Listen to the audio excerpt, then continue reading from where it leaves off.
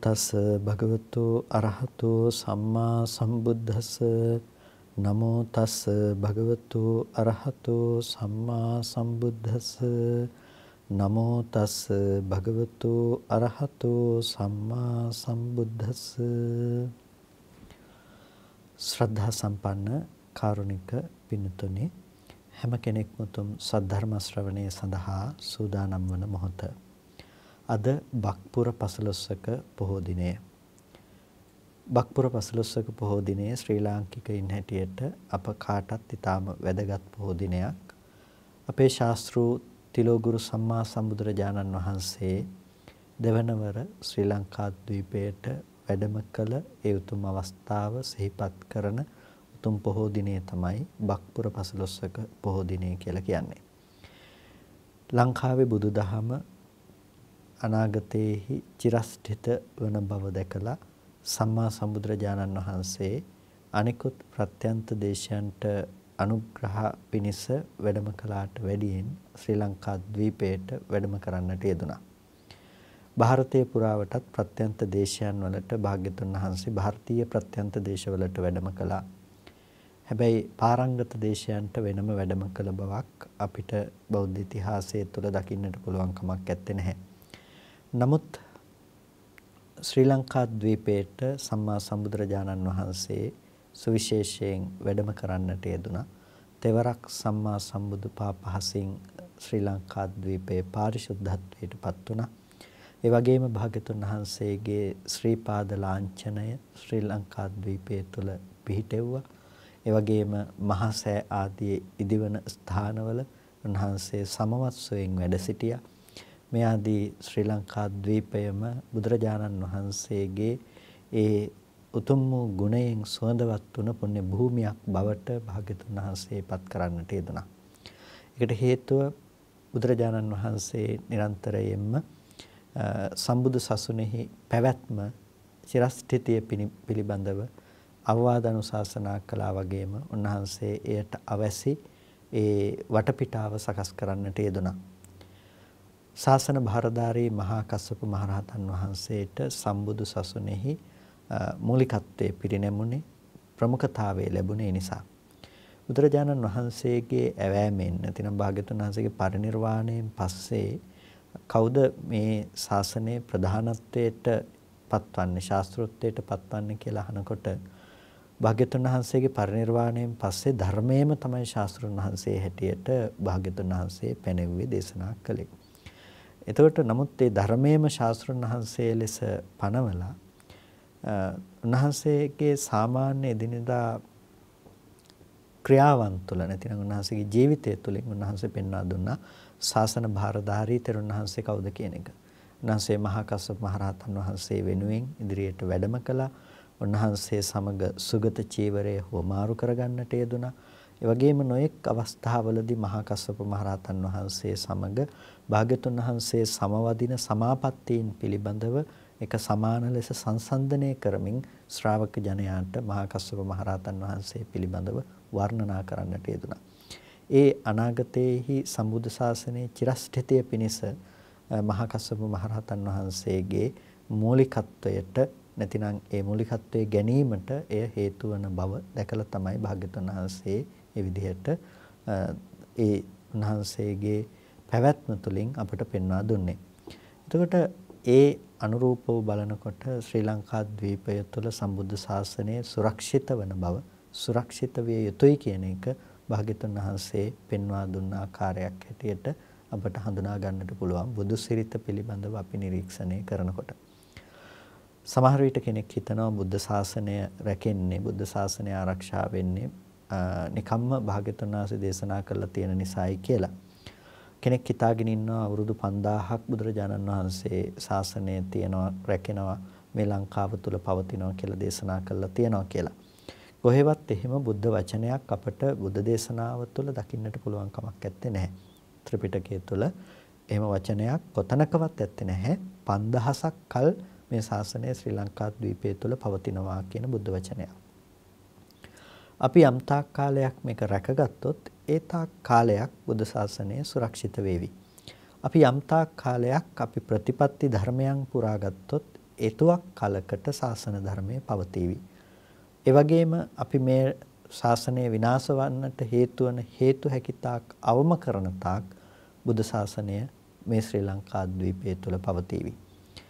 එහෙම නැතුව අපේ කිසිම උත්සාහයක් නැතුව අපේ කිසිම වගකීමක් අපි ගන්නෙ නැතිව නිකම්ම ස්වභාවයෙන්ම ධර්මයේ රැකිලා තියනවා කියන එකක් සිද්ධ වෙන්නේ නැහැ. ශාසනය ආරක්ෂා වෙනවා කියලා එකක් සිද්ධ වෙන්නේ නැහැ. ඒක ආරක්ෂා වන්නට නම් අප ඒ ආරක්ෂා කළ යුතුයි. අප එය පැවැත්විය යුතුයි. ඒ නිසා තමයි එදා කාලේ ඉඳලම තෙරුන් වහන්සේලා මේ බොහොම වෙහෙස අරගෙන තමන්ගේ ජීවිතේ පවා නොතකමින් නොඑක ආකාරයේ උපද්‍රව එනකොට ඒ උපද්‍රව හැමෙහි නොසැලී උන්වහන්සේලා ධර්ම විනය රැකගත්තේ.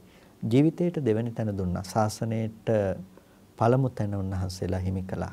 ඒ විදිහට තමයි අද බුද්ධ ශාසනය කියන එක ඔබට මට උරුම වෙලා තියෙන්නේ.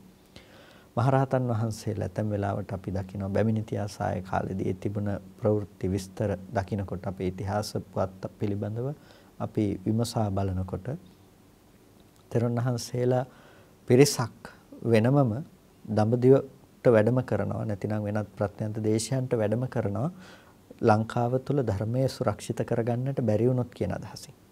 පසුව නැවත ලංකාවට ආපහු වැඩම කිරීමේ අදහසින්. ලංකාව තුළ භානක සම්ප්‍රදායන් තුළ ඒ ආරක්ෂා කරගෙන ආපු භානක සම්ප්‍රදාය කියලා කිව්වේ ඒ ඒ ධර්ම කොටහසයන් කටපාඩමින් පවත්වාගෙන ආවා. ඒකට කටපාඩමින් පවත්වාගෙන ආවේ එක වචනයක් එක අකුරක් ගිලිහෙන්නට නොදී බණවරකට තියෙන අකුරු ගාන පවා ගණන් කරගෙන තමයි කරගෙන ආවේ. එතකොට ඒ විදිහට මේ ඊටමත් විධිමත් පිළිවෙලකින් යුක්තව ඒ ධර්මය ආරක්ෂා කරගෙන ලංකාවේ තෙරුන් වහන්සේලා මෙහි වැඩ හිටියා. කන්නට බොන්නට දේවල් නැතුව බොහෝ තෙරුන් වහන්සේලා අපවත් වුණා මහරහතන් වහන්සේලා පිරිනවම් පෑවා. නොයෙක් දුක් ගැහැටවලට උන්වහන්සේලා මුහුණ දුන්නා. සමහර වෙලාවට කරගහක කරකොල ටිකකින් යැපිලා උන්වහන්සේලා ශාසන ධර්මය ආරක්ෂා කළේ. ඇතැම් වෙලාවකට මේ කුසගින්නට බිම වැටිලා වැතිරිලා ඒක ඒ පිළිබඳව නොසලකමින් ධර්මයේ සජ්ජායනා කරන්නේ.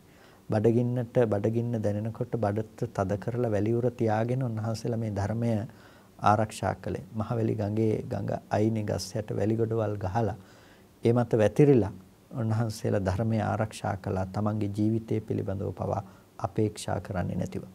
එතකොට ශාසන ධර්මය අපි අද කල්පනා කළාට මතු පිටින් බලලා මේක හැමදාම මල් යහන් මතින් මල් පාවඩ මතින් ආරක්ෂා වෙලා ආපු ගමනක් නෙමෙයි. මේ වෙනුවෙන් ජීවිත පරිත්‍යාග කරලා ඒ වෙනුවෙන් මහා කැපකිරීම කරපු වික්ෂුන් වහන්සේලා නිසා තමයි අද දවසේදී අපිට සම්මා සම්බුද්ධ ශාසනය උරුම වෙලා තියෙන්නේ. ඒ භික්ෂුන් වහන්සේලා රැකගන්නට උන්වහන්සේලා රැකී ආරක්ෂා කරන්නේ නැහැනේ. උන්වහන්සේලා මොනම වෙලාවකවත් තමන්ගේ පැවැත්ම සඳහා වෙනම පැවැත්මක් කරන්නේ නැහැ. එතකොට උන්වහන්සේලාගේ ශාසන කිස සිද්ධ කරන්නට හැම කාලයකදීම ඒ සඳහා දායක උනේ ඒ සඳහා මූලිකත්වය අරගෙන කටයුතු කළේ ගිහි පිරිස් අපේ උපාසක උපාසිකාවන්. ඒ අයගේ කැපවීම, ඒ අයගේ මැදිහත් වීම මත තමයි ඒ වික්ෂුන් වහන්සේලාට ඒ ගමන මේ ශාසනය තමන්ගේ ජීවිතයත් නොතක ආරක්ෂා කරගෙන එන්නට පුළුවන්කම ලැබුණේ. එතකොට මේ ගිහි පින්නතුන් කියලා කියන්නේ ගිහි පිරිස කියලා කියන්නේ මේ ගහකට තියෙන පොත්තක් වගේ ගහේ රැකවරණය හදලා දීලා තියෙනවා. එතකොට පොත්තට ගහත් ගහට පොත්තත් උපකාර වෙනවා වගේ භික්ෂුන් වහන්සේලාගෙන් ගිහි පින්නතුන්ට සිත නිවා ගන්න මඟ තමන්ගේ ආධ්‍යාත්ම විමුක්තිය සාධනය කරගන්න ආකාරය පිළිබඳව නිරන්තරයෙන් අවවාද අනුශාසනා ලැබුණා. ඒ අය ඒ අවවාද අනුශාසනා අරගෙන ඒ අය තමන්ගේ ජීවිතවල දුක නිවාගත්තා. කුසල ධර්මයන් පුරාගත්තා. ඒ වගේම ඒ අය තමන්ගේ දිවිහිමියෙන් බුද්ධ ශාසනය ආරක්ෂා කරගත්තා. ඒ වෙනුවෙන් ශාසනය වෙනුවෙන් මහා කැපකිරීම සිද්ධ කළා. ඒකට විවිධ ක්‍රමයන්ගෙන් විවිධ ආකාරයන්ගෙන් කැපකිරීම ගිහි ගිහි අය සිද්ධ කළා තම තමන්ගේ සීමාවෙ ඉඳලා. ලෝකෝත්තර ප්‍රතිපදාව ශාසන ධර්මය ආරක්ෂා කිරීම පිළිබඳව කතා කරනකොට භික්ෂුන් වහන්සේලා ශාසන ධර්මයේ රැකගත්තේ පර්යප්ති ප්‍රතිපatti ප්‍රතිවේද ශාසනය ආරක්ෂා කර ගැනීම විදිහට.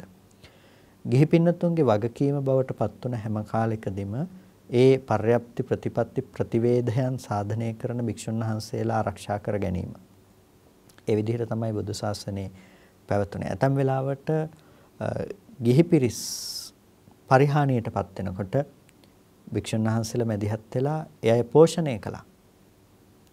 ඒ අය පෝෂණය කළා. තේරපුත්ත බෙහෙතරුන් වහන්සේගේ කතාවේදී අපි දකිනවා උන්වහන්සේගේ සේවය අවශ්‍ය වෙන වෙලාවේදී උන්වහන්සේ සිවුර පසකින් තියලා ගිහිල්ලා ඒ ශාසනය රැක ගැනීම වෙනුවෙන් උන්වහන්සේගේ දායකත්වය ලබා දුන්නා.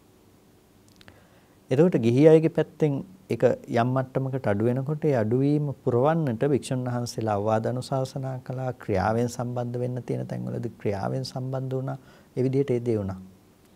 ඒ වගේම ඇතැම් වෙලාවට භික්ෂුන් වහන්සේලාගේ පැත්තෙන් පරිහානියට පත් වෙනකොට ඒක ගිහි සමාජයේ පැත්තෙන් ඒ එය නැවත යථාවත් කරන්නට මහා කැපකිරීම සිද්ධ කළා.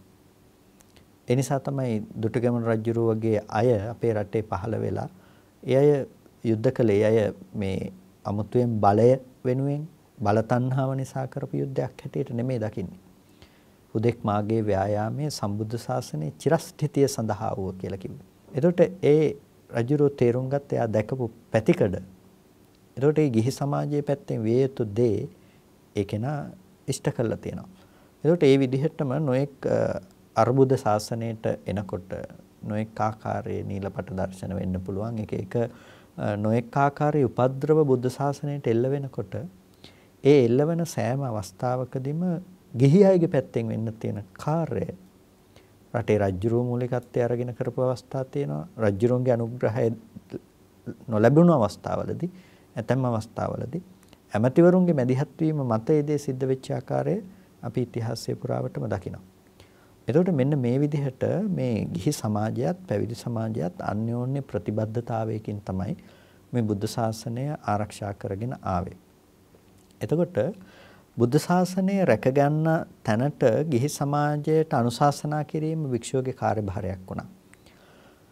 මේක සිද්ධ නොවුණු කිසිම රටක බුදුදහම ආරක්ෂා වුණේ නැහැ. මේක සිදු නොවුණ කිසිම රටක බුදුදහම ආරක්ෂා වුණේ නැහැ. බුරුමේ වෙන්න පුළුවන්, තායිලන්තයේ වෙන්න පුළුවන්, සියමේ, කාම්බෝජිය වගේ රටවල් වෙන්න පුළුවන්. මේ රටවල් වලට ත්‍රිපිටක ධර්මය ආරක්ෂා කළා ඒ රටවල් වලට ලබා දුන්නේ ලංකාවෙන්. ඒ නිසා තේරවාද මූලස්ථානය අදටත් ශ්‍රී ලංකාව හැටියටයි සැලකෙන්නේ.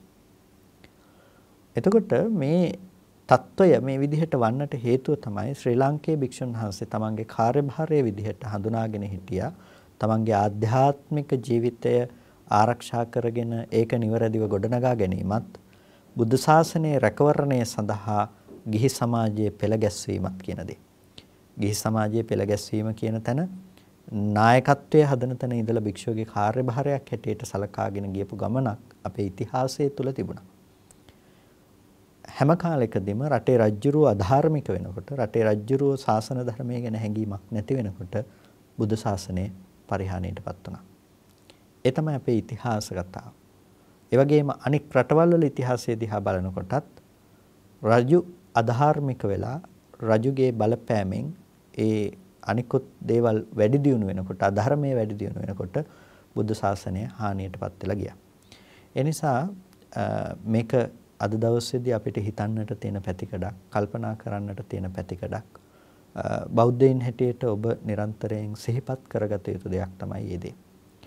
බෞද්ධයින් හැටියට අපි ලෝකේ හරි අහිංසකම කොටහසක්. ඒකට හේතුව අපි හැමදාම කතා කරන්නේ සමානාත්මතාවය පිළිබඳව. අපි කතා කරන්නේ මෛත්‍රිය පිළිබඳව. හැබැයි මෛත්‍රිය සහ සමානාත්මතාවය කියන එක අපිට තේරුම් ගන්නට නම් බුදුදහමේ තියෙන සංකල්ප ප්‍රමාණවත් වෙනවා.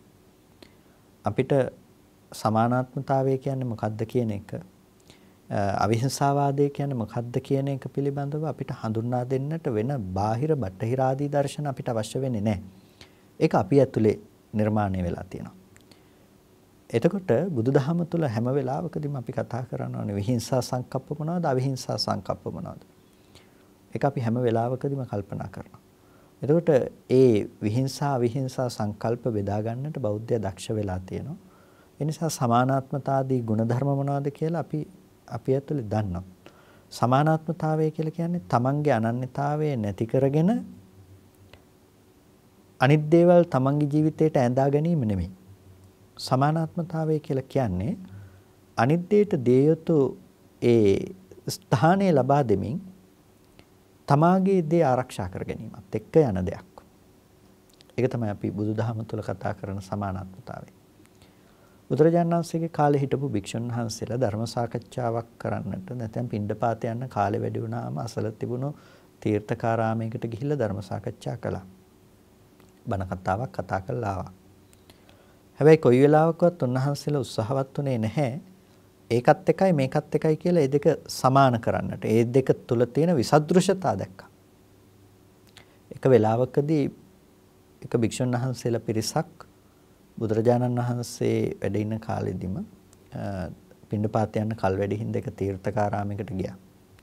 මේ තීර්ථකාරාමේ හිටිය තීර්ථකයෝ පුරුදු වෙලා ඉන්නවා බුදුහාමුදුරුවෝ බණ කියන තැනට ගිහිල්ලා අර වචන අහුලගෙන ඇවිල්ලා ඔවුන්ගේ ශ්‍රාවකයන්ට කියනවා අර අර වචන ටික ඒ විදිහටම කටපාඩම් කරගෙන ඒ වචන ටික තමන්ට සම්බන්ධ කරගෙන කතා කරනවා.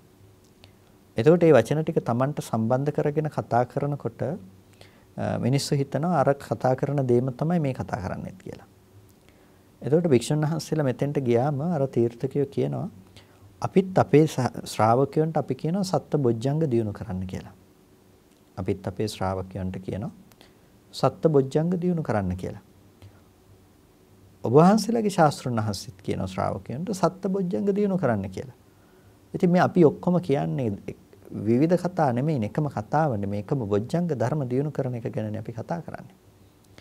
මේ ඔක්කොම එකයි නේද කියලා. භික්ෂුන් වහන්සේලා මේ කතාව ප්‍රතික්ෂේප කරන්නෙත් නැහැ. ඒක තමයි විශේෂ අවස්ථාව. ප්‍රතික්ෂේප කරන්නෙත් නැහැ. ඒක ඒ විදිහයි කියලා පිළිගන්නෙත් නැහැ. උන්වහන්සේලා ඒක නිහඬව දරාගෙන උන්වහන්සේලා වැඩම කළා. බුදුරජාණන් වහන්සේගෙන් ඇහුව භාග්‍යතුන් වහන්සේ මෙන්න මෙහෙම සිදුවීමක් වුණා. මෙතනදී ඇත්තටම අපි මොකද්ද කිය යුතු වෙන්නේ? බුදුරජාණන් වහන්සේ න්‍යායක් දේශනා කරනවා. මහන්නේ මේ ඒ අයගෙන් ප්‍රශ්න කරන්න කොහොමද සත්බොජ්ජංග දිනු වෙන්නේ? කොහොමද සත්බොජ්ජංග බොජ්ජංග 7 14 ආකාර කොට වැඩෙන්නේ කොහොමද?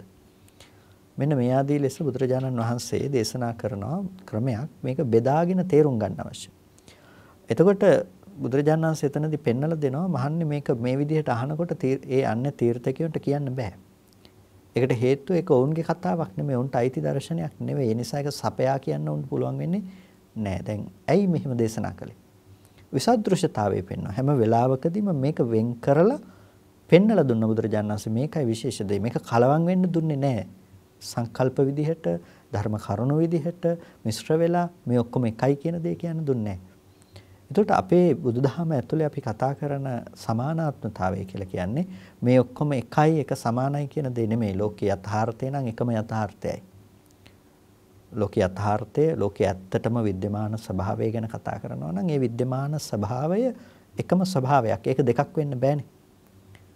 එතකොට බුදුරජාණන් වහන්සේ දේශනා කරන මේ හේතුඵල න්‍යාය ඒක ලෝකේ පවත්නා ස්වභාවය නම් පවත්නා යථාර්ථය නම් ඒ බඳු යථාර්ථ දෙකක් තියෙන්න පුළුවන් කමක් නැහැ.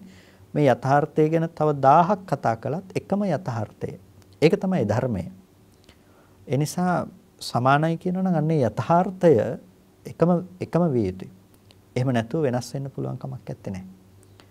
එතකොට සමානාත්මතාවය කියන එකෙන් අදහස් කරන්නේ හැම වෙලාවකදීම තමාගේ තියෙන දේ අයින් කළා දාලා ඒකට ගර්හා කරලා ඒක නැති කරලා වෙනත් දෙයක් වෙත සම්ප්‍රේෂණය වීම නෙමෙයි. සමානාත්මතාවය කියලා කියන්නේ තමාගේ දේ ආරක්ෂා කරගනිමින්. තමාගේ දේ ආරක්ෂා කරගනිමින්. තමාගේ දේ වර්ධනය කරගනිමින් අනුන්ට අනුන් පිළිබඳ උපේක්ෂාව බලා ගැනීම. ඒ වගේම ඒ අය වෙනුවෙන් විය යුතු දෙයක් තියෙනවා නම් ඒ අයට ඒ අවශ්‍ය දේ සපයා දීම. ඒක තමයි සමානාත්මතාවය. අවිහිංසාවාදය කියලා කියන්නේ අපි හිංසා පීඩා කිරීම වැරදි කාටවත්. අපි වචනයකින් හරි හිංසා පීඩා කිරීම වැරදි. හැබැයි තමන්ගේ දේ අපි ආරක්ෂා කරලා තියාගන්නට අවශ්‍යයි. තමන්ගේ දේ ආරක්ෂා කරලා තියාගන්නට අවශ්‍යයි. ඒක ඒකේ දේවල් තව ගන්නවා නම් අතවා අපිට ඒ දේවල් කතා කරන්නට සිද්ධ වෙනවා. ඒ දේවල් පැහැදිලි කරන්නට සිද්ධ වෙනවා. ඒකෙන් කියන්නේ මේ බෙදීමක් නෙමෙයි. ඒකෙන් කියන්නේ මේක වෙන්කොට අපි තේරුම් අරගෙන තියාගන්නට ඕනේ කියන එක. සාසන ධර්මයේ වෙන්කොට තියාගන්නට ඕනේ. ඒ නිසා මේ අද දවසේදී අර සමානාත්මතාවය පිළිබඳ මූලික සංකල්ප හඳුන්වලා දුන්න අයටත් සමානාත්මතාවය ගැන කතා කරන සමාජයක් බිහි වෙලා සමහර වෙලාවට ඒකත් බුදුදහමට තර්ජනයක් වෙන තැනට අරගෙන යන්න උත්සාහවත් වෙනවා. ඒ නිසාම තමයි මේ කරුණු ටික ගැන වෙනම පැහැදිලි කරන්නට හිතුවේ. මොකද අද අපේ මාතෘකාව තියෙන්නේ මාතිකා.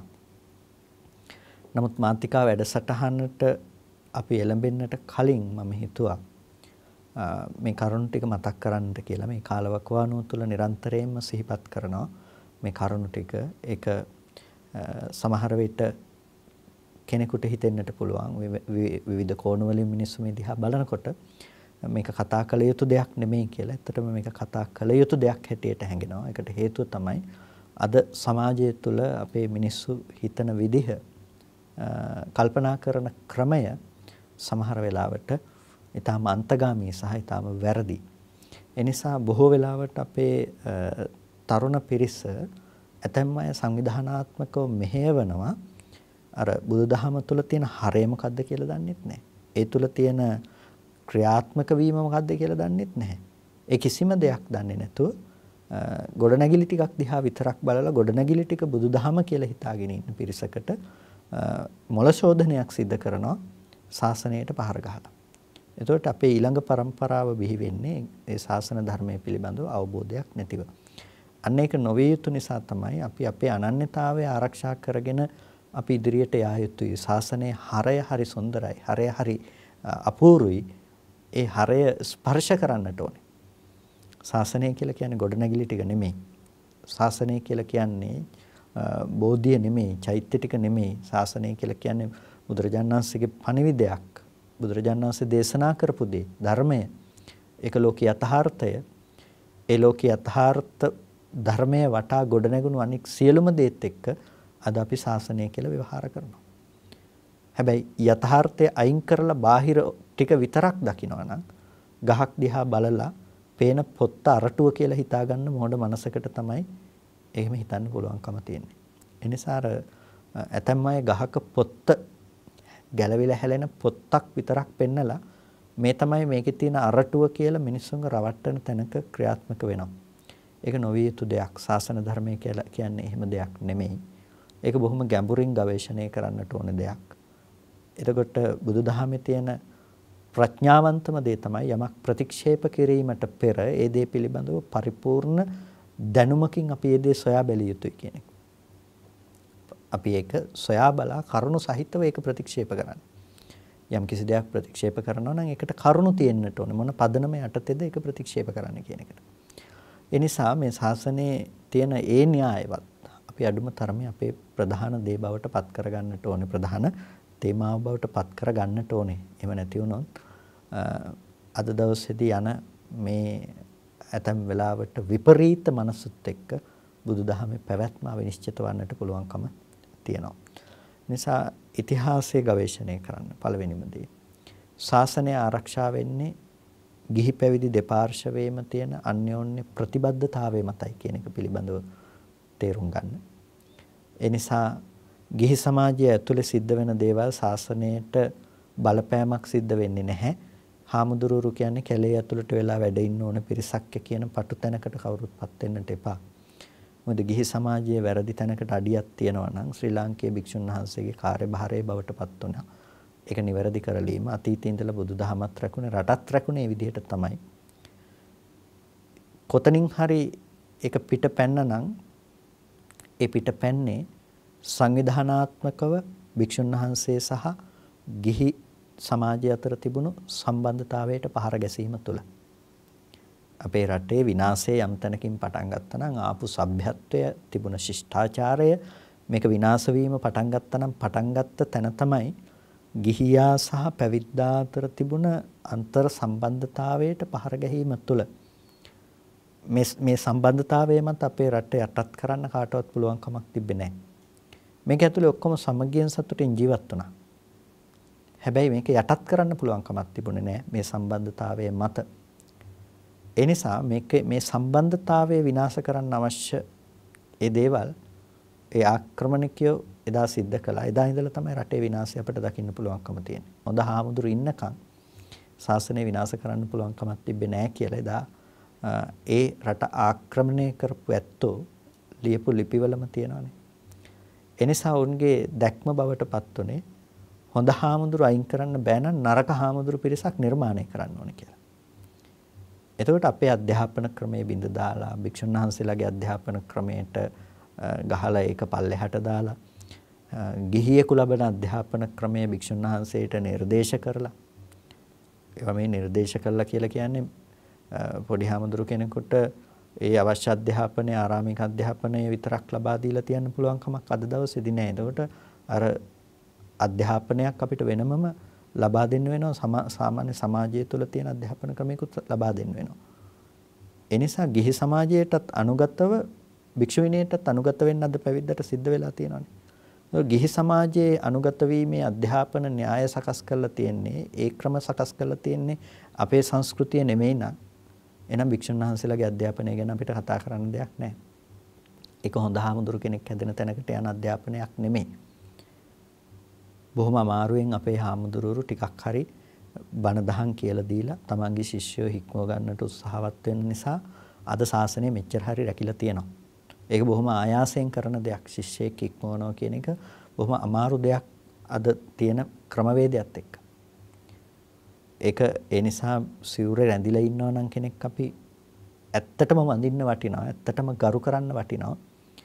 හේතුව ඒ කරන වෑයම ඒ කරන උත්සාහය සුළුපටු දෙයක් නෙමෙයි. නිසා අපේ අධ්‍යාපන ක්‍රමයේ බිඳ දැම්මා. වික්ෂුන් වහන්සේ කියන තැන විනාශයට යන තැනකට පත් කරන්න පුළුවන් විදිහ අධ්‍යාපනයක් ගොඩනැගුවා. ගිහි සමාජය වික්ෂුන් වහන්සේලා එක්ක ලබාගත් අන්‍යෝන්‍ය සම්බන්ධතාවය මත ලබාගත් දැනුම් පද්ධතියට පහර දුන්නා. ඒ අයට වෙනම යන අධ්‍යාපන ක්‍රමයක් හැදුවා. ඒක හැකිතාක් බුදුදහම තුලින් ඈත් කොට තැබුවා. එදා ඉඳලා මේ විසදෘශ්‍ය සමාජයක් අපිට දකින්න පුළුවන්කම තියෙනවා. එනිසා අද තියෙන විසදෘශ්‍ය සමාජය බිහි වෙන්න හේතුව බවට පත් උනේ භික්ෂුන් වහන්සේලාම නෙමෙයි. භික්ෂුන් වහන්සේලා වැරදි විදිහේ භික්ෂුන් වහන්සේලා පිරිසක් බිහි කරන්න හේතු වෙන හේතුවේ ඉඳලම අපිට මේ ප්‍රශ්නේ ගැන කතා කරන්න වෙනවා. ඒක ආපහු හදනවා නම් අපි අද ප්‍රතිඵලයට ප්‍රතිකර්ම කරන්නේ නැතුව අර හේතුවට ප්‍රතිකර්ම කරන්න වෙනවා. ඒ නිසා තේරුම් ගන්න ඕනම දේ තමයි මේ සිවුර තියනකම් මේ රට සුරක්ෂිතයි. මේ සිවුර තියනකම් ඒ ආගම සුරක්ෂිතයි. ශාසනය සුරක්ෂිතයි. ඒක තමයි අතීතේ ඉඳලම සිද්ධ වුනේ අනාගතයට සිද්ධ වෙන්නෙත්. ඒක නැති වුණොත් සමහර විට රටක් ඉතුරු වෙයි. හැබැයි ජාතියක් ජාතියක් කියලා කියනකොට අපේ සිංහල ජාතිය ඉතුරු වෙන්නේ නැති වෙයි. ඒ වගේම අපට සාසන ධර්ම ඉතුරු වෙන්නේ නැති වෙයි. ඒ නිසා සිවුරේ වටිනාකම තේරුම් ගන්න. සුළු පිරිසකගේ තියෙන ගතිගුණයක් නිසා මේ සිවුරට ගර්හා කිරීම කියන දේ නොවිය යුතු දෙයක්. අපි අද සමාජය තුළ දකිනවා ඒක බොහෝ විට මේ ඇති වෙලා තියෙන මිනිස්සු බොහොම දුකෙන් ජීවත් වෙනවා මිනිස්සු බොහොම අමාරුවෙන් ඉන්නවා අපි ඒක හොඳ ආකාරවම දකින සහ ඒ මිනිස්සුන්ගේ තියෙන අපහසුතාවය අපිත් ඒ විදිහටම අත්විඳින හාමුදුරුවෝ විදිහට අපි ඒක හොඳටම දන්නවා. ඉතින් ඒක එක අපේ ස්වාමින්වහන්සේ නමක් පසුගිය දවසක ගමේ වඩින වෙලාවක යතුරුපැදියකින් ආපු මහත්මයෙක් මේ ස්වාමින්වහන්සේට බොහොම තදින් දොස් කියලා තියෙනවා. මේ බල නිසා තමයි මේ මේ රට විනාශ වුනේ රට මේ තත්ත්වයටපත් උනේ කියලා. අපේ ගිහි සමාජය එහෙම හිතන තැනටපත් උනේ ඇයි? මේ සාමාන්‍යයෙන් රටේ ජීවත් වෙන මිනිස්සෙක්. දැන් මේ හාමුදුරු කවුද? මේ හාමුදුරු අඩුම තරමේ දේශපාලන දැක්මක් තියෙන කෙනෙක්ද? එහෙම නැත්නම් අඩුම තරමේ ඡන්දයක් දාලා තියෙන කෙනෙක්ද? ඡන්දයක් පාවිච්චි කරන්න කියලා තියෙන කෙනෙක්ද කියලා බැලුවා නම් ඒත් කමක් නැහැ. එහෙම කරලා තියෙන කෙනෙක් නා. එහෙමවත් නොකරපු ಗುಣධර්ම පුරන මේ ආරණ්‍යක වැඩ ඉඳලා පොඩ්ඩක් එළිය එළිය හදිස්සියක ගෙදරක දානකට වැඩපු හාමුදුරු කෙනෙකුට ඒ විදිහට ආක්‍රෝෂ පරිභව කරන තැනට අද සමාජයේ තල්ලු වෙනවා කියලා කියන්නේ තරුණ තරුණියෝ තල්ලු වෙනවා කියලා කියන්නේ ඒක හරි භයානක පෙරනිමිත්තක්. ඒ නිසා මේ අද දවසේදී මේ රටේ ඇති වෙලා තියෙන තත්ත්වය ඇතුලේ ඒක මිනිස්සුන්ගේ අවශ්‍යතාවය සහ මිනිස්සුන්ගේ තියෙන ඒ අපහසුතාවය වෙනුවෙන් මිනිස්සුන්ගේ නැගී සිටීමක් ඒ නැගී සිටීමත් එක්ක තව බොහෝ අඳුරු බලවේග බලාගෙන ඉන්නවා මේකෙන් තම තමන්ට අවශ්‍ය වාසි ලබා ගන්න තම තමන්ට අවශ්‍ය කටයුතු ඉෂ්ට කරගන්න තම තමන්ට අවශ්‍ය පරිදි මේක හසුරව ගන්න. ඒ නිසා අපි තාම පරිස්සමෙන් අපේ අනාගතය වෙනුවෙන් අපි දේවල් කරන්නට ඕනේ. අපි අරගල කරනවා නම් ඒක කරන්නට ඕනේ. ඒ කරන්නට ඕනේ තාම පරිස්සමෙන්. මේ ભેදයක් හදන දෙයක් නෙමෙයි. අපේ දේ සුරක්ෂිත කර ගැනීම. අපේ දේ අපි ආරක්ෂා කර ගැනීම.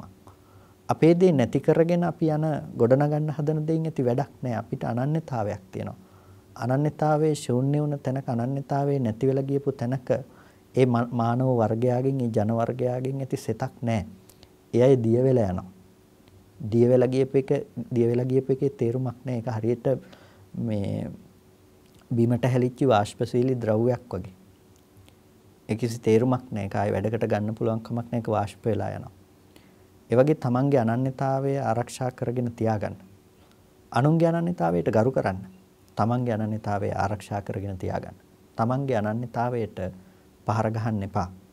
සමහර වෙලාවට අද ගොඩනැගෙන රැල්ල ඇතුලේ සමහර ගුරුවරු සමහර අය රැල්ලක් විදිහට ගොඩනගන්න හදන්නේ මොකද? තමන්ගේ වල තමන්ම හාර ගන්න.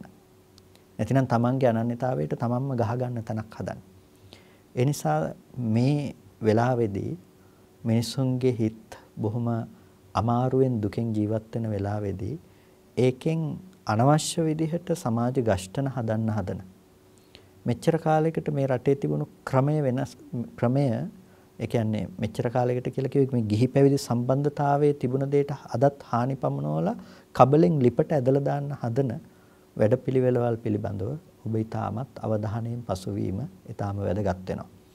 මොකද එහෙම නැති වුණොත් ඒක මේ බුද්ධ ශාසනයේ පැවැත්මට ඍජුව බලපාන දෙයක්. ඒක අපි කතා කළ යුතුම දෙයක්. සමහර වෙලාවට අපි අපේ දේ ආරක්ෂා කරගන්නේ කොහොමද කියන එක ගැන කතා කළාම ඒකටත් සමහර වෙලාවට දොස් කියන්න බලාගෙන ඉන්න මේ ආගම් ભેදයක් හදන්න හදනවා කියලා. වෙනතුනේ ආගම් ભેදයක් හදනවා කියන්නේ මේ අපි අනිත්‍යයත් එක්ක මේ තරහෙන් බැනගෙන දොස් කියාගෙන රණ්ඩු වෙන්න යනවා හැබැයි තමන්ගේ දේ ආරක්ෂා කරගන්නවා නම් තමන්ගේ දේ රැක ගන්නවා නම් තමන් තමන්ගේ හිත රැක ගන්න කියලා කියනවා නම් කොයි වෙලාවකවත් තමන් මේ තව තමන්ගේ මුල හාර ගන්න එපා කියනවා නම් ඒක මේ ආගම්වාදයකට යන දෙයක් නෙමෙයි. තමන්ගේ තියෙන ඒ ලැබුණු ලාභය තමන්ට ලැබිලා තියෙන උරුමය ආරක්ෂා කර ගැනීම කියන එක ભેදයක් නෙමෙයි. ඒක අයහපත් දෙයක් නෙමෙයි. එනිසා ඔබ ભેද වෙන්නට යන්න අවශ්‍ය නැහැ. කාත් සමගත් ඔබ සමගියෙන් ඉන්න. හැබැයි තමන්ගේ අනන්‍යතාවය දියාරු කරගෙන ඒක නැති කරගන්න එපා. ඒ බොහොම වටිනා ඔය සිංහ තෙල් ටික නැතිනම් ඔය වාෂ්පශීලී ද්‍රව්‍ය එක පොළවේ ගහලා වාෂ්ප වෙන්න දෙන්න එපා. එතකොට ඒක ආරක්ෂා කරලා තියාගන්න. ඒක රැකිලා තියෙන්නට ඕනේ. ඒ නිසා තමන්ගේ අනන්‍යතාවය සුරක්ෂිත කරගෙන ඔබ රටේ අනන්‍යතාවය ගැන කල්පනා කරන්න අනාගතය පිළිබඳව අරගල කරන්න. ඒක කිසිම ප්‍රශ්නයක් නෑ. හැබැයි තමන්ගේ හිත රැකගෙන හැම වෙලාවකදීම අනුශාසනා කරනකොට මතක් කරන දේ තමන්ගේ හිත රැකගෙන මේ දේවල් කරන්න. හිත පීඩ ද්වේෂයෙන් පීඩාවට පත් වෙන තරමට ද්වේෂයෙන් වැහිලා යන තරමට තමන්ට ඇත්ත පේන්නෙත් නැහැ. ඒ වගේම මේකෙන් තමන් කරගන්නෙත් අකුසලයක්. ඒ නිසා තමන්ගේ හිත ආරක්ෂා කරගන්න මොකද තමන් දුකටපත් වුනහම තමන්ට රැකවරණයක් හදන්න වෙන කවුරුත් දෙන්නේ නැහැ. රැකවරණයක් හදනවා නම් හදන්න පුළුවන්කම තියෙන්නේ Tamanට විතරමයි. අන්න ඒ නිසා මේ කියපු කරුණු පිළිබඳව ඔබ ඊටමත් ඕනකමින් ඊටමත් මනවින් ඔබේ හිතට ඇති කරගන්න අදහසක් විදියට හොඳට හිතින් දරා ගන්න. ඒක ඔබේ අදහසට නොගැලපෙනවා නම් ඔබ ඒක ඉවත් කරන්න ඒක ඔබේ අයිතිය. නමුත් බුද්ධ ශාසනයෙහි අනාගතය පිළිබඳව වික්ෂුන් වහන්සේ නමක් හැටියට අනුශාසනා කිරීම කියන දේ අපි දිගින් දිගටම සිද්ධ කරනවා. ඒකට හේතුව තේරුම් ගන්න කෙනෙක් එක්කෙනෙක් දෙන්නෙක් හෝ තේරුම් ගනේවි. අපි මොකද්ද කළ යුත්තේ කියන දේ. ඒ නිසා ඔබ අරගෙන යන ව්‍යායාමය සාර්ථක ලෙස ඔබ සිද්ධ කරගෙන යන්න මේ රට අපි හැමදාම කියනවා වගේ රාජා බහුතු ධම්මිකෝ කියලා කියන රජවරු දැහැමි වේවා කියලා. ඉතින් දැහැමි රජවරුපත් කරගන්න, ධාර්මික රජවරුපත් කරගන්නට නෙමෙයි, දැහැමි රජවරුපත් කරගන්නට මනවින් බුදුදහමත් ආරක්ෂා වෙන ඔබේ සම්මුති පැවැත්මත් ආරක්ෂා වෙන ප්‍රතිපත්ති වලට ගරු කරන රටක් හදා ගන්න අවශ්‍ය සම්මුතිය තුළ අවශ්‍ය ඒ ඕනෑම දෙයක් ඔබ සිද්ධ කරන්න. හැබැයි කිසිම විදිහකින් බුද්ධ ශාසනයට අංශ මාත්‍රයකවත් හානියක් වන්න දෙන්න එපා. ඒක තමයි මතක් කරන්නට අවශ්‍ය ප්‍රධානම දේ. හානියක් කියනකොට සමහර වෙලාවට අද දවසේදී මේ කතාබස් කරන විදි දකින්නකොට අපිට දකින්න තියෙන සමහර වහන දේ තමයි කියන දේ තමයි හැම වෙලාවකදීම මේ පාලනය කියන දේ ආගමින් ඈත් වෙලා තියෙන්නට ඕන කියලා. පාලනය කියන දේ ආගමින් ඈත් වෙලා තියෙන්නට ඕන කියන දේ. පින්නතුනේ මේ කියමන කොතෙක් දුරට සාර්ථකද කියන එක පිළිබඳව අපිට හිතන්නට නම් අපේ ඉතිහාසය ගැන බලන්නට ඕනේ පළවෙනියටම. මොකද ඉතිහාසයක් නැති જાතියක අනාගතයක් අපිට ලියන්න පුළුවන් කමක් නැත්තේ නැහැ. නිසා ඉතිහාසය ආවේ කොහොමද කියලා අපිට බලන්න ඕනේ. ඒ වගේම තමයි භික්ෂුන් වහන්සේලා ගමුකෝ අද මේක ගොඩක් වෙලාවට ගන්න බුද්ධ ශාසනය ගැන කියන්න ගිහිල්ලා. ඉතින් භික්ෂුන් වහන්සේලාට රටේ පවතින නීතිය, රටේ පවතින අධ්‍යාපන ක්‍රමය මේ රටේ තියෙන කිසිම වෙනත් දේවල් බලපෑමක් නැත්තම් අපේ අධ්‍යාපන ක්‍රමය ගැන බලපෑමක් නැත්තම්. ඒ වගේම රටේ තියෙන නීති පද්ධතියත් අපිට භික්ෂුන් වහන්සේලා හැටියට අපිට බලපාන්න නැත්තම්. අපිට එහෙනම් මේ ගැන කිසිම අනුශාසනාවක් නොකර ඉන්න කියලා කිව්වට කමක් නැහැ. හැබැයි ඒ දේ අපිට බලපානවා නම් ඒ ගන්න තීන්දුව తీරන මත එතනින් ඇති කරන තීන්දුව తీරන මත බුද්ධ ශාසනයේ අපිට පහසුවෙන් ඉන්න පුළුවන්ද අපහසුවෙන් ඉන්න පුළුවන්ද කියන එක තීරණය කරනවා නම් එහෙනම් ඉතින් මේක ගැන අපි කතා කරන්න වෙනවනේ. භික්ෂුන් වහන්සේලාට අපිට කතා කරන්න වෙනවා. මොකද ඒ පාලනය අපිටත් බලපානවා නම් අපිට කතා කරන්න වෙනවා. ඒ නිසා රජයේ පැවැත්ම රජයෙන් ගන්න තීන්දුව తీරන ඒ බලපාන නිසා ඒ ගැන වික්ෂුන් වහන්සේලාට අනුශාසනා කරන්න වෙනවා. මම කියන්නේ දේශපාලනය කරන්න යන්න ඕනේ කියලා. හැබැයි අනුශාසනා කරන්න වෙනවා. රජවරු රජකම් කරන කාලෙදී ප්‍රශ්නයක් ඇති වුනහම ගිහිල්ලා රජුරවන්ට කරුණු පැහැදිලි කරලා දීලා ඒක නිවැරදි වුණා. මොකද රජුරවන්ගේ වචනේ එන නීතිය උනේ. හැබැයි දැන් එහෙම නෙමෙයිනේ රටේ නීති හදනවා. ඒතකොට මේ නීති හදන නීති හදන පාලකයෝ ඉන්නවා. එතකොට මේ පාලකයන්ට අවශ්‍ය විදිහට නීති හැදෙනවා නම් අනිවාර්යෙන් ඒ පාලන තන්ත්‍රය බිහි කරලීම පිළිබඳව භික්ෂුන් වහන්සේගේ කාර්යභාරයකුත් තියෙනවා. බෞද්ධ ගිහි පින්නතුන්ගේ කාර්යභාරයකුත් තියෙනවා. භික්ෂුන් වහන්සේගේ කාර්යභාරය වෙන්නේ අර දේශපාලනය කරන්න එතෙන්ට යෑම නෙමෙයි. භික්ෂුන් වහන්සේගේ කාර්යභාරය වෙන්නේ සාමාන්‍ය ජනතාවට අනුශාසනා කිරීම, ආශිර්වාද කිරීම කියන දේ. ඒ නිසා ගිහි අයගේ වගකීම වෙන්නේ භික්ෂුන් වහන්සේලා කතා කරන්නේ මොකද්ද ශාසනය අනාගතය වෙනුවෙන් කියන එක පිළිබඳව කල්පනා කිරීම.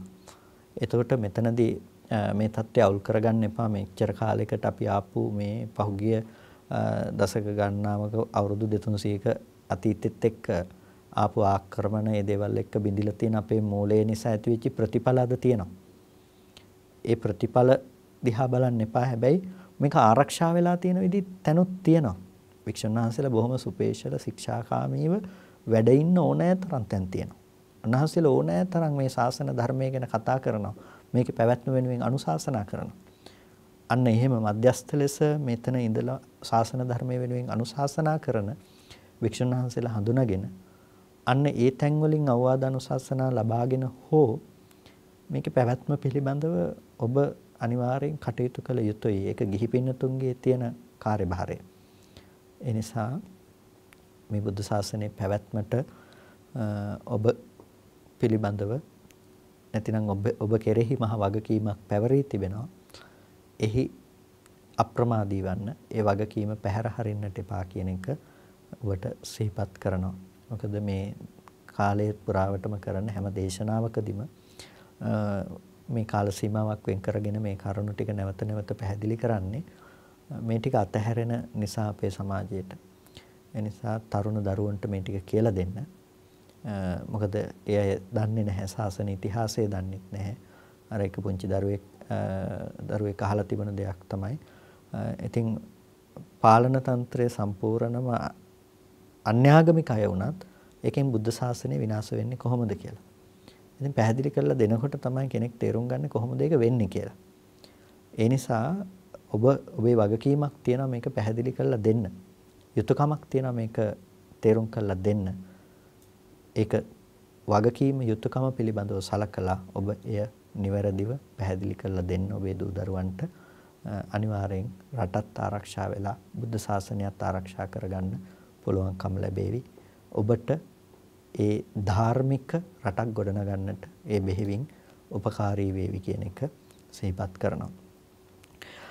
අද දවසේදී අපට සාකච්ඡා කරන්නට තියෙන මාතෘකාව වෙත අප එළඹුණොත් අපට දකින්නට පුළුවන් පසුගිය දේශනාව තුළ අපි හඳුනාගත් මාතෘකාවේ තමයි අතීතා ධම්මා අනාගතා ධම්මා පච්චුප්පන්නා ධම්මා කියන එක. අතීත ධර්ම අනාගත ධර්ම සහ පච්චුප්පන්න ධර්ම. ඒකට අතීත ධර්ම කියනකොට අතීත විගත වූ ධර්ම කියලා හඳුනාගත්ත පච්චුප්පන්න ධර්ම කියනකොට වර්තමානයේහි ප්‍රත්‍යෝත්පන්න ධර්මයෝ හැටියට හඳුනා ගන්නට යෙදුණා. ඒ වගේම අනාගතයි කියනකොට නොපැමිණියා වූ නොහටගත් අසංජාත ධර්ම හඳුනාගත්තා. ඊට පස්සේ යම් පමණකට අපි තේරුම් ගත්ත දේ තමයි අතීතාරම්මන ධර්ම අනාගතාරම්මන ධම්ම පච්චුප්පන්නාරම්මන ධම්ම අතීතාරම්මනා ධම්මා මේකට කියනවා අතීතාරම්මන ත්‍රිකය කියලා මාතිකා විදිහට ගත්තාම අතීතාරම්මන ත්‍රිකය. අතීතාරම්මනා ධම්මා පච්චුප්පන්නාරම්මනා ධම්මා අනාගතාරම්මනා ධම්මා. එතකොට මේ ආරම්මන කියලා කියන්නේ යම් කිසි අරමුණක්නේ. සෑම සිතක්ම උපදින්නේ යම් කිසි අරමුණක් අරගෙන. සෑම සිතක්ම උපදින්නේ යම් කිසි අරමුණක් අරගෙන. රූපයක්, ශබ්දයක්, ගන්ධයක්, රසයක්, පොට්ටබ්බයක්, ධර්මයක් අරමුණු කරගෙන තමයි ඕනෑම සිතක් උපදින්නේ. අරමුණක් නැතුව උපදින සිතක් ඇත්තේ නැහැ. අරමුණක් නැති සිතක් නැහැ. එතකොට ඒ සිතෙන් යම් අරමුණු කරන දෙයක් තියෙනවා. එතකොට ඒ අරමුණ අතීත වන්නටත් පුළුවන් ඒ අරමුණ අනාගත වන්නටත් පුළුවන් ඒ අරමුණ පච්චුප්පන්න වන්නටත් පුළුවන් අතීතාරම්මනා කියනකොට අතීතාරම්මන ධර්මය ගැන කතා කරනකොට ඒ ආරම්මණය අතීතයි. ආරම්මණය අතීතයි. ආරම්මණය අතීතයි කියලා කියන්නේ ආරම්මණය විගතයි ආරම්මණය නිරුද්ධයි නැති වෙලා ගිහිල්ලා. ආරම්මණය විගතයි ආරම්මණය අතීතයි ඒ ආරම්මණය නැති වෙලා ගිහිල්ලා නිරුද්ධයි. ඒකට අතීතාරම්මන කියනකොට නියත අතීතාරම්මන සහ නියත අතීතාරම්මනයි කියලා අපිට මේ කොටස් දෙකකින් අතීතාරම්මන හඳුනා ගන්නට පුළුවන්කම තියෙනවා. අතීතාරම්මන කියනකොට නියත වශයෙන් නියත වශයෙන්ම අතීතාරම්මන තියෙනවා. නියත අතීතාරම්මන. එතකොට ඒ හිත අනිවාර්යයෙන් නියතයි. ඒ හිත අතීතයේ අරමුණු කරගෙන විතරයි ඒ හිත උපදින්නේ කියලා. අතීත හටගෙන නිරුද්ධ වුණ ඒ ධර්මයක් අරමුණු කරගෙන විතරයි ඒ සිත උපදින්නේ. එනිසා ඒකට කියනවා අතීතාරම්මන ධර්ම කියලා. මොනවද අතීතාරම්මන ධර්ම කියලා කියන්නේ? නියත අතීතාරම්මන ධර්ම කියලා කියන්නේ. යම් කිසි තැනක විඥානං ඡායතනං නේව සංඥානා සංඥායතනං ඉමේ ධම්මා අතීතාරම්මන. එතකොට යම් කිසි විඥානං ඡායතනයක් තියෙනවා නම් නේව සංඥා නා සංඥායතනයක් තියෙනවා නම් මේ ආයතන දෙකම අතීතාරම්මනයි කියලා කියනවා. විඥානං ඡායතනය නේව සංඥා නා සංඥායතනෙ. විඥානය අනන්තයි කියලා දකින්න එකත් නේව සංඥා නා සංඥායතනෙ. එතකොට දැන් ආකාසානංචායතනය ආකාශය පිළිබඳව තියෙන අවකාශ ධාතුවේහි තියෙන අනන්තය පිළිබඳව. එතකොට අවකාශය කියනකොට මේ අපි තේරුම් ගන්නට ඕනේ මොකද්ද මේ අවකාශය කියලා කියන්නේ. එතකොට මේ ඒ කලාප අතර තිබෙන ඒ හිස් අවකාශමය ස්වභාවයට හිත තියලා එතකොට එයාට ලෝකෙ विद्यमान වෙන ධර්ම වෙන විදිහට ගස් කොළන් ඒ කඳුරැලි පර්වත මේ වගේ දේවල් හම්බ වෙන්නේ නැතිව එයාට හුදු අවකාශ ධාතුවක් ඇසුරු වෙනවා. ඒක තමයි එයාගේ ස්වභාවය ආකාශය අනන්තයි කියලා ගත්ත එක. එතකොට මේ අවකාශ ධාතුව අනන්තයි කියලා හිතපු ආකාසානංචායතනයේ ඉක්මවලා විඥානංචායතනය ලබනකොට විඥානංචායතනයෙන් ඇසුරු කරනු ලබන්නේ අර ආකාශය අනන්තයි කියලා අරමුණු කරපු සිතෙහි තිබෙන අනන්ත ස්වභාවය පිළිබඳ විඥාණයෙහි තිබෙන අනන්ත බව පිළිබඳව විඥාණයෙහි තිබෙන අරමුණු කිරීමෙහි විඥාණයෙහි තිබෙන අනන්ත ස්වභාවය පිළිබඳව තමයි අරමුණු කරන්නේ. එතකොට ඒක හෙට්ටිම ධානය පිළිබඳව අරමුණු කොටගෙන පවත්නා නිසා ඒකට කියනවා නියත අතීතාරම්මන කියලා. ඒක නියත වශයෙන්ම අතීතාරම්මනයි. නේව සංඥා නා සංඥායතනය කියලා කියන්නේ දැන් ආකින්චඤ්ඤායතනය කියලා කියනකොට ඒක කිසිවක් නැහැයි කියන සංඥාවක් උපදව ගැනීම. කිසිවක් නැතයි කියන සංඥාවක්. එතකොට ඒ සංඥාවගේද ප්‍රකට වීම ඇති කරගෙන සංඥාව අප්‍රකට බවට පත් කරගන්න ස්වභාවයක් තමයි නේව සංඥා නාසඤ්ඤායතනෙදි සිද්ධ කරන්නේ. ඒකට ඒක නේව සංඥා නාසඤ්ඤායතනයේ තියෙන්නේ අකින්චඤ්ඤායතනය කියන අතීත ආරම්මණය අරගෙන. ඒ නිසා විඥානං ඡායතනය ආකාසානං ඡායතනය අල්ලගෙන තියෙනවා නේව සංඥා නාසඤ්ඤායතනය අකින්චඤ්ඤායතනය අල්ලගෙන තියෙනවා. මේකට කියනවා නියත අතීතාරම්මන කියලා. නියත වශයෙන්ම අතීතාරම්මනයි. ඒ කියන්නේ එතනින් එහාට වෙන අතීතාරම්මන නැහැ කියලා නෙමෙයි. දැන් ඔබට සිහිපත් වෙනවා නම් රුවන්වැලි සෑය කියලා මේ වෙලාවේදී එතකොට ඒ සිහිපත් වෙන රූපාරම්මණය කියන දේ ඒක අතීතාරම්මණයක්. ඒක විගතයි. ආරම්මණය විගතයි. දැන් නැහැ. දැන් विद्यमान නැහැ මේ මොහොතේදී. ඒක නිසා ඒකට කියනවා අතීතාරම්මන කියලා. එතකොට මේ අතීතාරම්මන කියනකොට දැන් අපි ගත්තොත් චුතිසිත චුතිසිත ගත්තොත් ඒ චුතිසිතෙන් කර්ම කර්ම නිමිති අරමුණු කරනකොට දැන් ඔබ රුවන්වැලි සෑය ළඟට ගිහිල්ලා රුවන්වැලි සෑය පිළිබඳව කරපු කුසලයක් ගැන ඔබට සිහිපත් වෙනවා. දැන් මෙතනදී මේ ඇතිවන අරමුණු මොනවද? මේ සිත් වලින් ගන්න අරමුණු මොනවද? දැන් विद्यमान දේවල්ද? නෑ ඒවා අතීත ආරම්මන. එතකොට අර මේ චුතිචිත්තයට ඇසුරු වෙන කර්ම කර්ම නිමිති කියන දේවල් අතීතාරම්මණය ඇසුරු කරගෙන තමයි තියෙන්නේ. ඒක අතීතාරම්මණය ඇසුරු කරගෙන. එතකොට ප්‍රතිසන්දිය ගන්නකොට අරට ඊට අනුරූපවනේ ප්‍රතිසන්දි ගන්න. එතකොට ඊට පස්සේ හටගන්න භවාංගාදී චිත්තසංතතියත් අර ඒකේ ආරම්මණය අර අතීත ආරම්මණයමයි. මොකද චුති සිතක් ගත්තනම් ඒ බඳු ස්වභාවයෙන්මනේ ඒ ප්‍රතිසන්දි සිත පවතින්නේ. එතකොට ප්‍රතිසන්දි සිතේ ස්වභාවයම ඒ රූපේමනේ භවාංග චිත්තසංතතිය ගන්න. එතකොට ඒ අතීත ආරම්මණය අරගෙන තමයි ඒකේ පැවැත්ම සිද්ධ කරන්නේ. අතීතාරම්මණය අරගෙන තමයි අතීතය අරමුණු කරගෙන තමයි එහි පැවැත්මේ විදියට සිද්ධ කරගෙන යන්නේ. ඒ නිසා අතීතාරම්මණය කියලා කියන්නේ අන්න ඒ වගේ අතීත නිමිත්තක් කර්ම නිමිති ගති නිමිති අරමුණු කරගෙන තියෙන තැන. ඊට පස්සේ තව විදිහකින් අපි හිතුවොත් එහෙම ගති නිමිති පහළ වෙනවා කියන තැන. ඒ අවස්ථාවේම ගති නිමිති පහළ වෙනවා කියලා කියන්නේ දැන් ඒ මොහොතේදී ඒ චුතවන අවස්ථාවේදී යාට පේනවා එයා ප්‍රතිසන්දි ගන්න ඉන්න තැන. සමහරලාට සමහර සත්වයන්ට අර කර්ම නිමිත්ත නැතුව ගති නිමිත්ත පහළ වෙනකොට මෞකුසම අරමුණු වෙනවා. එතකොට මේ මෞකුසම අරමුණු වෙනකොට ඒකට කියනවා පච්චුප්පන්න ආරම්මණයි කියලා. පච්චුප්පන්නයි කියලා කියන්නේ මේ මොහොතේදී ඒ ආරම්මණය පවතින. මේ වෙලාවේදී අරමුණු වෙන එක. එතකොට ඒකට කියනවා මේ මොහොතේදී අරමුණු වෙන නිසා ඒකට පච්චුප්පන්න ආරම්මණය. එතකොට ප්‍රතිසන්දි වශයෙන් ගිහිලා ජවන් වශයෙන් සිත් නැවත් මේ භවාංග වශයෙන් සිත් උපදිනකොට ඒ ආරම්මණය පච්චුප්පන්න ආරම්මණය ආරම්භය තමයි ඉපදුනේ කියලා කියනවා.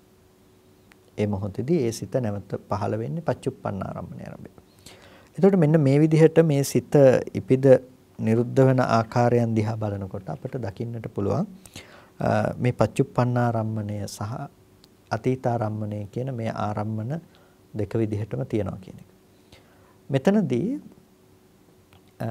අතීතාරම්මන කියනකොට ඔය අනිකුත් අතීතාරම්මන ඉපිද නිරුද්ධ වෙච්ච දේවල් අරමුණු කරගෙන පවත්වන සෑම සිතක්ම අතීතාරම්මනයි කියන සංග්‍රහයට තමයි යන්නේ. ඉපිද නිරුද්ධ වුණ සිතක් පිළිබඳව අපි කතා කරනකොට ඒ සියලුම සිත් ටික යන්නේ අතීතාරම්මනයි කියන සංග්‍රහයටම තමයි. එතකොට අතීතයේ ධම්මේ ආරබ්බ ඒ උපජ්ජන්ති චිත්තචේසිකා ධමයි මේ ධම්ම අතීතාරම්මනා කියලා කිව්වේ නිසා අතීත ධර්මයන් ආරම්භ යම් චිත්තචෛසික ධර්මතා ටිකක් ඉපදුනා නම් ඒක තමයි අතීතාරම්මන කියලා කියන්නේ. අතීතෙදී දැකපු රූපයක්, අහපු ශබ්දයක් ආදී දේවල් වෙන්නට පුළුවන්, වේදනාවක් වන්නට පුළුවන්, හඳුනා ගැනීමක් අරබය වන්නට පුළුවන්. ඕනෑම ආකාරයකින් යම් කිසි දෙයක් පිළිබඳව ඉපිද නිරුද්ධ වෙච්ච දෙයක් පිළිබඳව අපි අරමුණු කරනවා නම් ඒකට කියනවා අතීතාරම්මනා කියලා. අතීතය අරමුණු කොට පවත්නා දේ. ඊට පස්සේ පච්චුප්පන්නයි කියලා කියන්නේ වර්තමානයේ කියන එකට. අනාගත කියලා කියන්නේ තාම පැමිණිලා නැති දෙයට. අනාගතාරම්මනා කියනකොට නියත අනාගතාරම්මන නැහැ. අනාගතයට අනාගතය අරමුණු කරගන්න නියත සිත් ඇත්තේ නැහැ. දැන් අපි හිතමුකෝ අනාගතංස ඥාන තියෙනවා කියලා. කියන්නේ අනාගතයේ දකින්න නුවණක් තියෙනවා කෙනෙකුට. අනාගතයේ දකින්න නුවණක් තියෙනකොට ඒකෙදි අරමුණු කරන්නේ අනාගතේ තමයි. ඔබට හෙට ගොඩ නැගෙන දේවල් ඒවා අනාගතේ අරමුණු කරගෙන තියෙන දේවල්. හැබැයි ඒ වෙලාවේදී හටගන්න සිත නියතියක් නැහැනේ අනාගතේ උපදවනවා කියලා.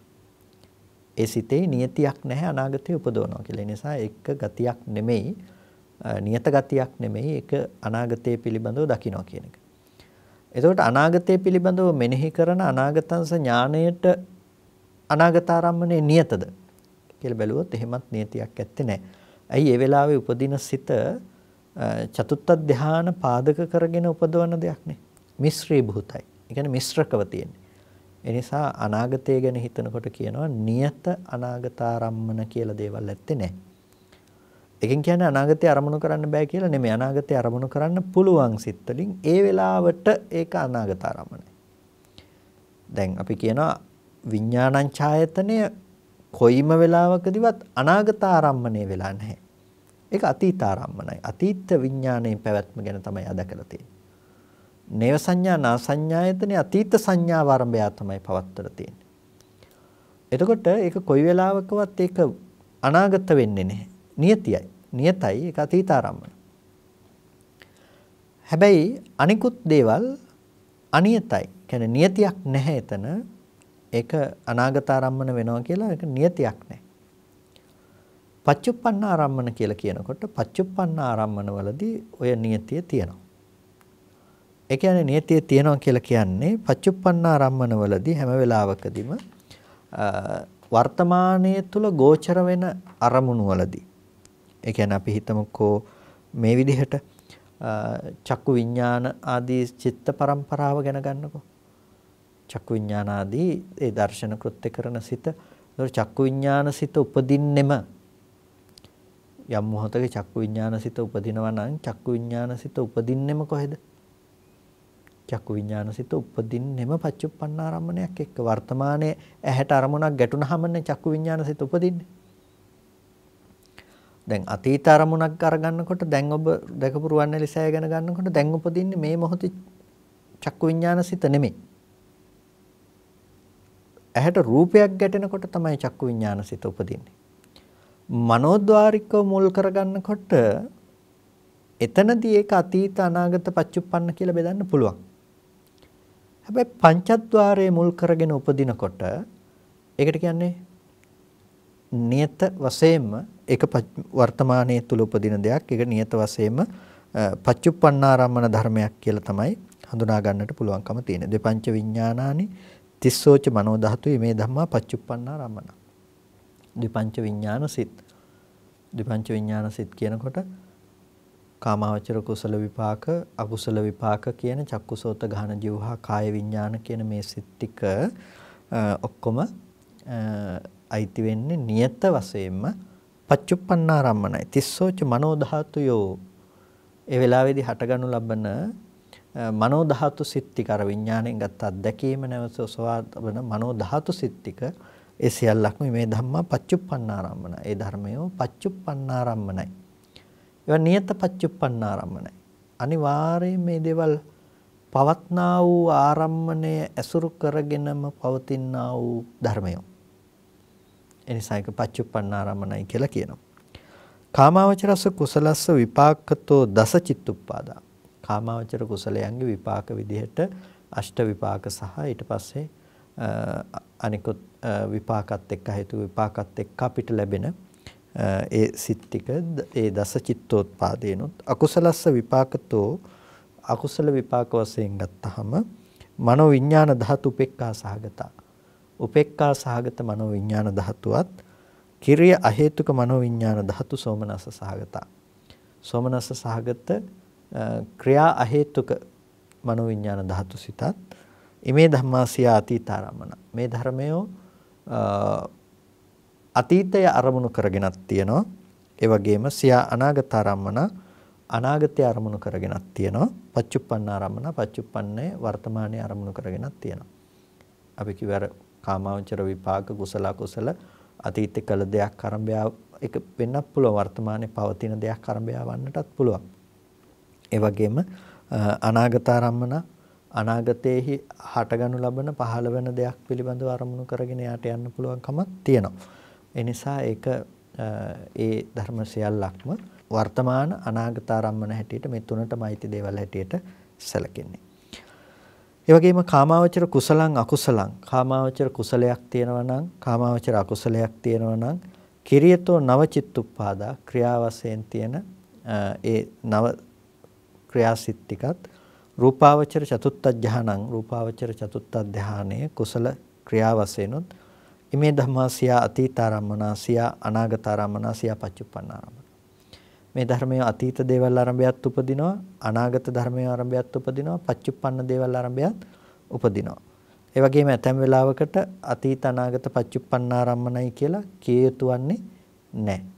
එහෙම නොවන අවස්ථාත් තියෙනවා. කාමාවචර කුසලය අකුසලය මේ ආදී දේවල් ඇතැම් වෙලාවකදී මේ දේවල් අරමුණු කරගෙන තියනවා කියලා කිව නොකිය යුතු වෙලාවලුත් තියෙනවා. ප්‍රඥප්ති ආදී දේවල් අරමුණු කරනකොට ඒක අතීත අනාගත පච්චුප්පන්නාදී වශයෙන් කියන්නේ නැහැ කියලා දැක්වෙනවා. රූපාවචර තික චතුක්ක ජහනා කුසලතෝච විපාකතෝච කිරියතෝච චතුත්ථ ජහනස විපාකෝ රූපාවචර ධාන ටික තුන්වෙනි හතරවෙනි ධානය කුසල විපාක ක්‍රියාවසෙනුත් චතුත්ථස්ස ජහනස්ස විපාකෝ සතරවෙනි ධානයේ යම් විපාකයක් තියෙනවා නම් ආකාසානංචායතන අකින්චඤ්ඤායතනයක් තියෙනවා නම් සතර මාර්ග ටිකත් චත්තාරිච සාමාන්‍ය ඵලානි සතර ඵල ටිකත් මේ ධර්මයෝ අතීතාරම්මන කියලා කියන්නෙත් නැහැ අනාගතාරම්මන කියලා කියන්නෙත් නැහැ පච්චුප්පන්නාරම්මන කියලා කියන්නෙත් නැහැ රූපංච නිබ්බානංච අනාරම්මන රූපය සහ නිර්වාණය කියන එක අනාරම්මන ධර්මයෝය කියලා කියනවා. එතකොට රූපාවචර තුන්වෙනි සහ හතරවෙනි ධානය කුසල විපාක වශයෙන්ුත් ක්‍රියා වශයෙන්ුත් නැතිනම් ක්‍රියා වශයෙන්ුත් චතුත්ථ ධානස විපාකෝ සතර ධානයේ විපාකයක් කියන්නේ නැහැ අතීතාරම්මන අනාගතාරම්මන පච්චුප්පන්නාරම්මන කියලා. ඒක හැම වෙලාවකදීම එහි අරමුණ ඒ විදිහට බෙදා දක්වන්නට යන්නේ නැහැ. ඒකේ අරමුණ අතීතද අනාගතද පච්චුප්පන්නද කියන එක පිළිබඳව බෙදා දක්වන්නට යන්නේ නැහැ. ඇයි? ඒකේ ප්‍රඥප්ති සංඛ්‍යාත භාවයකින් තමයි ඒ ධානයන්ගේ පැවැත්ම ආදිය සිද්ධ කරගෙන තියෙන්නේ. එතකොට ඒ නිසා ඒ දේවල් අර විදිහට අර සංඛ්‍යාවට ගණනය කරන්නේ නැහැ ආරම්මන සංඛ්‍යාවට ඒ කිනකට තියෙන වෙන වෙනම ලක්ෂණ තියෙනවා නමුත් ඒක අපිට කතා කරන්නට ගියොත් මම හිතනවා ඒකේ සාමාන්‍යයෙන් අර්ථය තව ටිකක් ඔබට අවුල් යන්නට පුළුවන් මේක ගොඩක් ලියලා දක්වන්න පුළුවන් නම් වඩා හොඳ දෙයක් එහෙම නැතුව කරුණු විදිහට කියන්න යනකොට ඒකේ අපැහැදිලි බවක් ඇතිවන්නට පුළුවන් නිසා මේ අවස්ථාව කරගන්න නෑ ඒක පැහැදිලි කරන්න. නමුත් අතීතාරම්මන අනාගතාරම්මන පච්චුප්පන්නාරම්මන කියන මේත්‍රිකයේදී ආරම්මන බෙහෙදේ අනුව සලකා බලමින් ඒ පිළිබඳව විශ්ලේෂණය කර ගැනීම වටිනවා. ඉතින් අද දවසේදී කල්පනා කරගන්න සද්ධර්ම ශ්‍රවණය කරලා යෝනිසෝ මනසිකාරයේ පවත්තලා වටිනා කුසලයක් හැමදිනාම සිද්ධ කරගන්නට යෙදුනේ. මේ සිද්ධ කරගත්ත සියලු කුසලයන් අපි අනුමෝදන් කළ යුතු අයට අනුමෝදන් කරමු. පළමුවෙන් අපට අර්ථයෙන් ධර්මයෙන් අනුශාසනා කරන අපේ ධර්මාචාර්ය අවසරයි මාංකඩවල සුදස්සන ස්වාමීන් වහන්සේටත් අවසරයි මාංකඩවල නන්දරතන ස්වාමීන් වහන්සේටත් ස්වාමීන් වහන්සේලා දිනමටම උතුම් නිවනින් සැනසීම පිණිස මේ කුසලය හේතුපනිශ්‍රේම වේවා කියලා ප්‍රාර්ථනා කරනවා.